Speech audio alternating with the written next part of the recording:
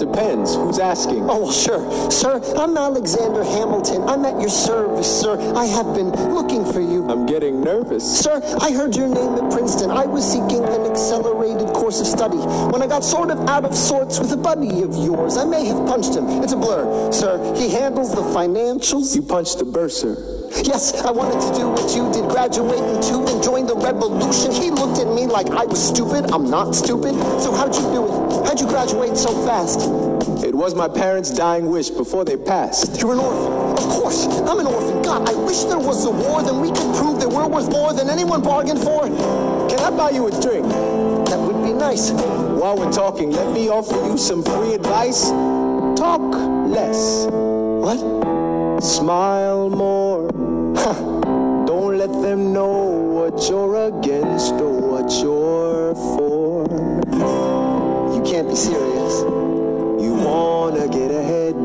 Yes. Fools who run their mouths off wind up Hey, yo, yo, yo, yo, what time is it? Showtime! Like I said.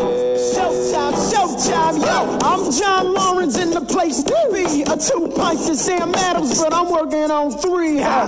Those red coats don't want it with me, cause I will pop, chick a black, stop till I'm free. Eh oui, oui, mon ami, je m'appelle Lafayette, the Lancelot of the revolutionary set. I came from afar just to say bonsoir to the king. Casse-toi, who is the best? C'est moi.